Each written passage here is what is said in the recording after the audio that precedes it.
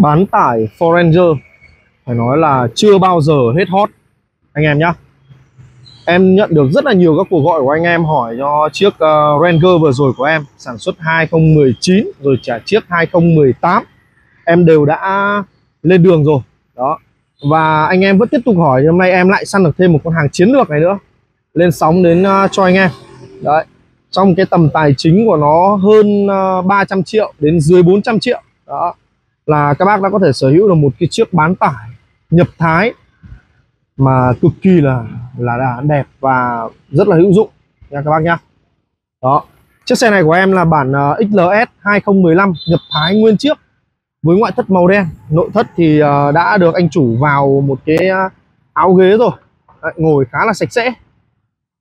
Xe thì vẫn là nguyên bản. Đó, xe vẫn nguyên bản mang biển số 29C một chủ sử dụng từ mới, biển Hà Nội, các bác nhá. Lốp láp của con này thì là đã có một cái thay vào dàn lốp mới là đương nhiên rồi.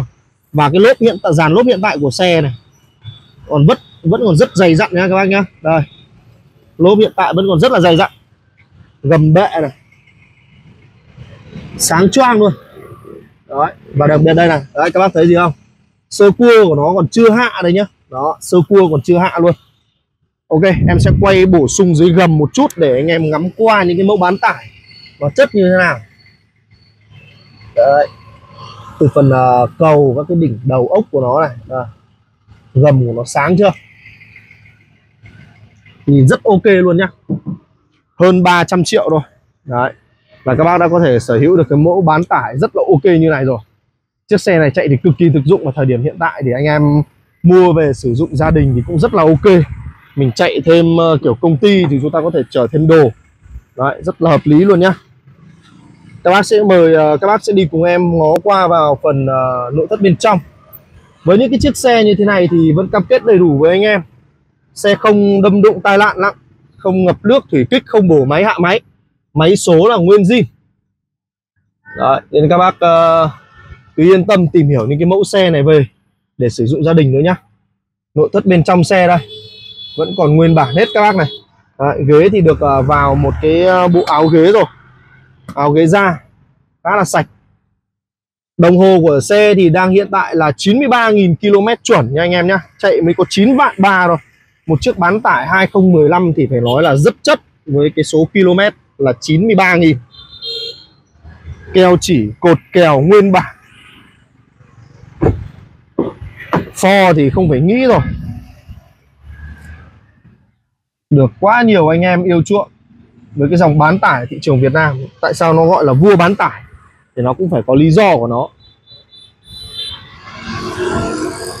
Chạy dầu rất bền bỉ khỏe và tiết kiệm. Trần thì vẫn là trần lỉ à, ờ, trần lỉ nguyên bản các bác nhá. Đó vẫn nguyên bản thôi. Lốp láp này cùng gầm sáng choang đây, dàn lốp trước của nó đây. Cũng rất là sáng nhá. À dàn lốp trước này. Đây.